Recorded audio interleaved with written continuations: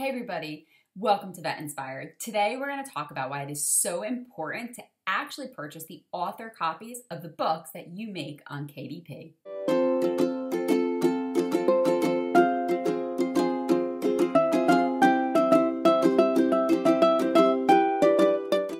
So why are author copies so important? I didn't understand the importance of them until I actually started purchasing them.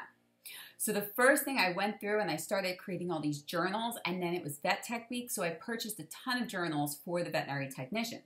And they didn't actually really understand how high quality these journals are. The journals are actually extremely high quality and they're very, very nice. And then I was like, let me purchase every once in a while when I create a journal. And when you print them out, sometimes they do actually look a little bit different than they are on Amazon, but that's okay because usually they come out better.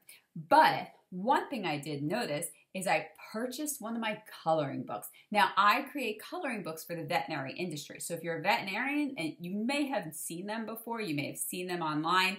Um, but if you're not a veterinarian, you haven't seen my books most likely, or if you're not a veterinary technician. So I, I make veterinary coloring books for the staff as a stress relief. And I usually do them on one sided pages. And I said, you know what, my next one, I'm to actually do front and back because I want you to be able to open it up. You'd have wording on one side and you would have pictures on the other.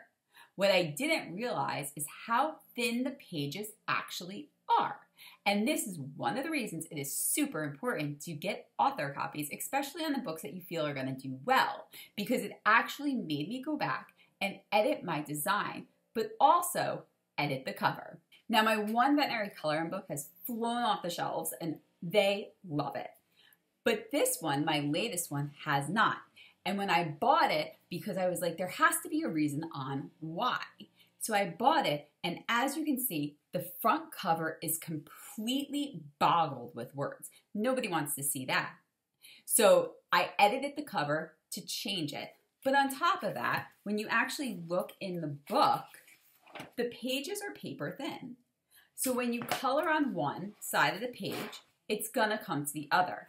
So I went back and I actually reworked the entire book and I'm re-uploading everything so that way when people purchase it, it's a higher quality book. And this is a great reason on why you should purchase author copies because now I actually have the product in hand to see what it would look like and to see what I did wrong. And it's definitely one tip that I would recommend that if you're doing a coloring book, make sure it's on one page.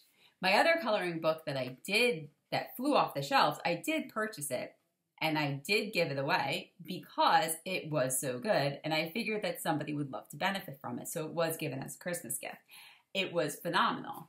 This one will be reworked. So if you're a veterinarian or you're a vet technician and you want to purchase this book, it's going to be updated. So that's one tip that you can use in helping you become a great KDP seller.